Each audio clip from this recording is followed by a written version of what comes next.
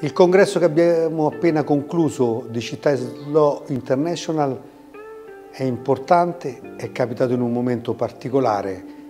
Il passaggio di testimoni da Pisani a Migliorini è avvenuto nel modo migliore, con un dibattito molto ampio che ha coinvolto tutti i paesi, tutti i soci e che ha messo al centro le idee di Città Slow, che dopo vent'anni sono il pilastro su cui costruire la ripresa del nostro paese come di tutti i paesi.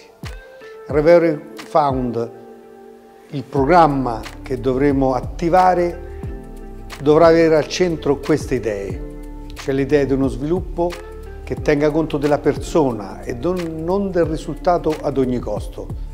Questo è quello di cui si è discusso e crediamo che sia stato un lavoro molto positivo.